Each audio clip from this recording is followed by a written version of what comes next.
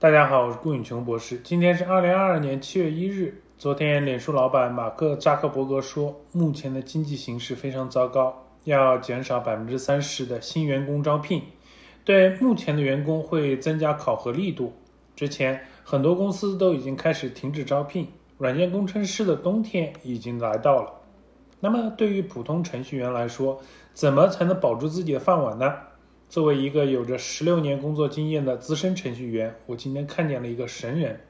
原来他利用新冠在家工作的政策，同时做了五份程序员的工作，四份是在财富五百强公司。